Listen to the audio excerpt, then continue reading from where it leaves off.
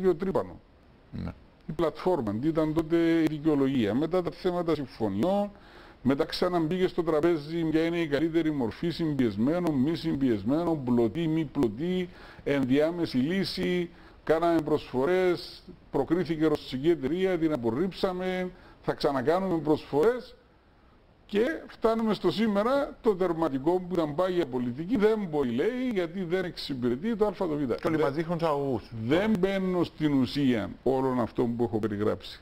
Ε, δεν δημιουργεί σε εσάς ερωτηματικό γιατί κάθε τρεις και μία υπάρχει κάτι που αναστέλει τη διαδικασία, την παραπέμπει στο χρόνο. Και ένα τελευταίο σημείο, δύο φορές ο Πρωθυπουργός αναφερόμενος στις θετικές προοπτικές έκανε λόγο για μακροχρόνιους σχεδιασμούς και μακροχρόνιες πολιτικές. Ναι.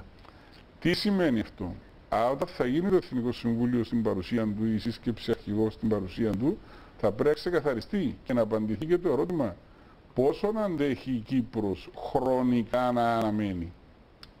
Η ανάγνωση που ε, διαπιστώνω εγώ βλέποντας την ε, συνέντευξη είναι πως φαίνεται να διαφοροποιείται η εκτίμηση τουλάχιστον από ελληνικής πλευράς ότι ο χρόνος δουλεύει αρνητικά για την Κυπριακή Δημοκρατία Ναι, και αυτό- παγιώνονται τα τελεσμένα. Να, όταν- Ο Πρωθυπουργός φαίνεται να θεωρεί ακριβώς το ανάποδο. Έτσι, ότι έτσι δηλαδή είναι. είμαστε σε μια χρονική συγκυρία που μπορούμε και να περιμένουμε γιατί υπάρχει σύμπλεση συμφερόντων και έχουμε και το δίκαιο. Έτσι. Άρα ας τα αφήσουμε αυτά τα πράγματα να μας Έτσι- δυναμώσουν περισσότερο. Έτσι βγαίνει από, από αυτά που ακούσαμε. Σε αυτό εσείς διαφωνείτε λέτε. Όχι, δεν είπα ότι διαφωνώ. Πρέπει να απαντηθεί το ερώτημα διότι.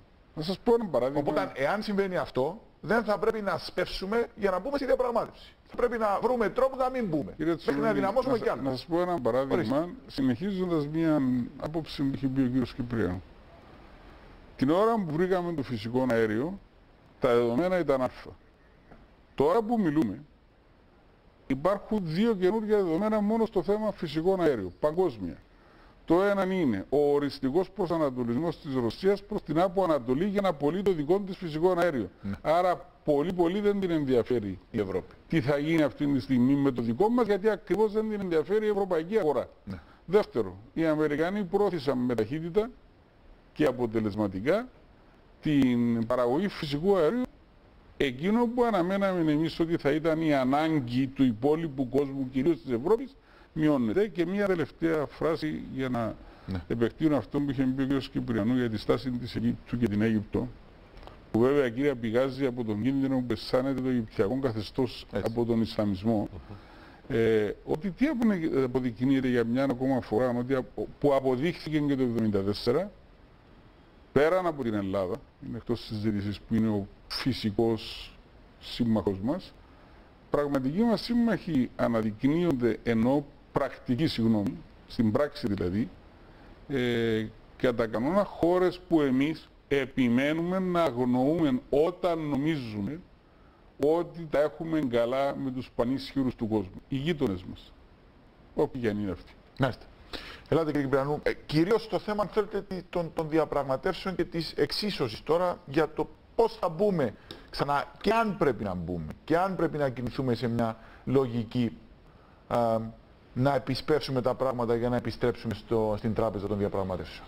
Ναι, βέβαια σε αυτό το θέμα να πω ότι δεν είναι περίεργο που δεν το απάντησε στην ουσία ο Πρωθυπουργός, γιατί είναι ένα πολύ σοβαρό θέμα, θα θέλει να το συζητήσει στην Κύπρο. Και να επενθυμίσω ότι στην τελευταία σύνοδο του Εθνικού Συμβουλίου εγέρθηκε το θέμα, αλλά επειδή δόθηκε τότε η προτεραιότητα α, στα ζητήματα μέτρων αντίδραση προς την Τουρκία, ε, λέχθηκε ότι αυτό το κομμάτι θα συζητηθεί σε επόμενη συνεδρία του Εθνικού Συμβουλίου που ελπίζω ε, να συγκληθεί σύντομα γιατί ο χρόνος πιέζει. Και ακριβώς το ερώτημα είναι θα μπαινοβγαίνουμε συνομιλίες όπως θα μπαινοβγαίνει και τουρκικά πλοία από την Κυπρική ΑΟΣ; Ε, αν λήξει το Δεκέμβρη η νότα, ε, τότε πάμε πίσω και έρθει ξανά τον Απρίλη ξαναφεύγουμε. Εδώ υπάρχει ένα πρόβλημα. Ε, το οποίο... Εσείς τι λέτε από αυτού; Κοιτάξτε, σίγουρα δεν μπορούμε να το δούμε μόνο σε σχέση με το θέμα των α, παραβιάσεων και των προκλήσεων της Τουρκίας, ε, αλλά και σε σχέση με την ουσία του διαλόγου, ε, διάλογος των κοφών, είχε πει ο πρόεδρος Αναστασιάδης. Άρα πρέπει να δούμε και την ουσία και το τι σχέδια και σκέψεις φέρνει, παραδείγματος χάρη, ο νέος ε, ειδικός σύμβουλος του Γενικού Ναι, Γραμματέα. αλλά διαφοροποιείται, γιατί αυτό είναι κέριο, Άρα- διαφοροποιείται η θέση την οποία ακούγαμε στο παρελθόν επαναλαμβανόμενοι κιόλας ότι ο χρόνος δουλεύει ενάντια στο καλό νοούμενο συμφέρον της Κυπριακής Εδώ Δημοκρατίας. υπάρχουν δύο πραγματικότητες. Η μία είναι ότι όσο αφορά την ανατροπή δεδομένων επί του εδάφους, ο χρόνος δυσκολεύει αυτή την ανατροπή. Αυτό εξακολουθεί να ισχύει, λέτε. Αυτό πάντα ισχύει. Παντού, σε όλες Ναι. τις χώρες. Θα το δείτε, δεν είναι μόνο θέμα Κύπρου. Και όσο πιο δύσκολο, ακόμα και οι μεσολαβητές, ακόμα και εκείνοι που έχουν να Γιατί συνεχίζεται ο βοηθήσουν, επικισμός, αλλάζουν οι γενιές. έρχονται και σου λένε εντάξει, αλλά ξέρει να βρούμε άλλες λύσεις, να βρούμε αποζημιώσεις, να βρούμε κάτι άλλο. Πού να ερχόμαστε τώρα 40-50 χρόνια μετά να τρέχουμε. Ναι. Αυτή είναι μια πραγματικότητα. Το δεύτερο είναι όμως και οι συγκυρίες και, οι δεδο- και εγώ θα σα πω άλλη μια πραγματικότητα. Ότι μόνο μέσω συνομιλιών μπορεί να λυθεί το κυπριακό πρόβλημα. Μας αρέσει ή δεν μας αρέσει. Υπάρχει όμως η τρίτη πραγματικότητα, οι συγκυρίες και το ισοζύγιο που μπορεί να υπάρχει μια δεδομένη στιγμή.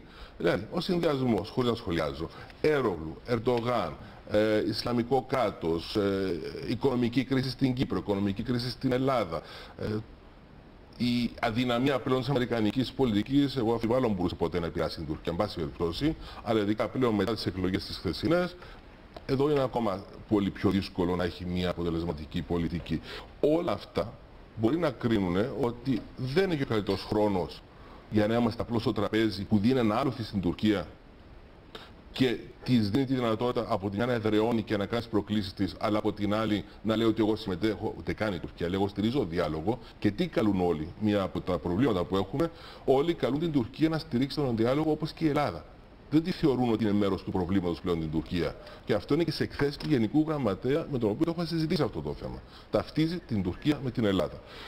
Άρα είναι ένα ζήτημα μέσα στα δεδομένα τα οποία δεν μπορώ να σας δώσω μια, α, ένα άσπρο μαύρο. Απλά διερωτούμε κιόλας τι Είναι μπορεί αυτά- να φέρνει μαζί του ο, ο ειδικός σύμβουλος του Γενικού Γραμματέα. Όταν μας λένε ότι φέρνει μια μεσολαβητική πρόταση, δηλαδή. Κοιτάξτε, Ποια μπορεί να είναι οτιδήποτε- αυτή η να σου πω μεσολαβητική κάτι σε πρόταση αυτό που το φέρνει ο θέμα. κύριο Άιντα. οτιδήποτε θα μας βάλει να συζητήσουμε το θέμα του φυσικού αερίου πιστεύω ότι είναι επικίνδυνο και δεν πρέπει καν να παρουσιαστεί. Δηλαδή δεν πρέπει να γίνει και το παρασκήνιο. Αν και η εκτίμηση του κ. διαβούλευσης. Κατσουρίδη, διαβάζω το τελευταίο καιρό, είναι ότι ε, είναι ήδη στην τράπεζα των διαπραγματεύσεων το φυσικό αέριο. Δεν χρειάζεται να το βάλει ο κ. Σάιντα. Εγώ εκείνο που θεωρώ είναι ότι αυτός είναι ο στόχος της Τουρκίας. Κοίταξτε, λέμε για την Τουρκία, για προκλητικότητα.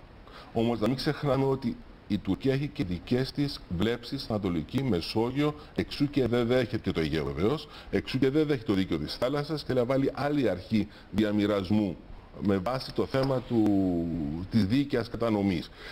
Μα είναι ξεκάθαρη θέση ότι για να είσαι μεγάλη άρα- χώρα πρέπει να έχεις πρόσβαση στις θάλασσες και αφού δεν έχω πρόσβαση θα Άρα πρέπει να τη ο δημιουργήσω. στόχος της αυτονομοποίησης είναι από τη μια να μας δημιουργήσει πρόβλημα, Ναι. Από την άλλη όμως να μας αναγκάσει να διαπραγματευτούμε. Εγώ λέω το μόνο θέμα που έχουμε να διαπραγματευτούμε με την Τουρκία εμείς είναι την ΑΟΣ μεταξύ μας. Ναι. Όποτε θέλει η Τουρκία να κάτσει στο τραπέζι μαζί μας, όπως κάναμε με την Αίγυπτο, με το Ισραήλ, με το Λίβανο ε, και να το κάνει, εδώ είμαστε. Αλλά όχι να διαπραγματευτούμε ζητήματα τα οποία δεν την αφορούν.